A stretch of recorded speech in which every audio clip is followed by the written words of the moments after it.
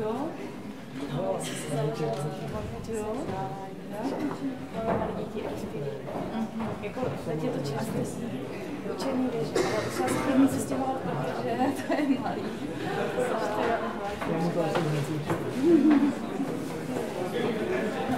Můžu vás poprosit malinko doleva.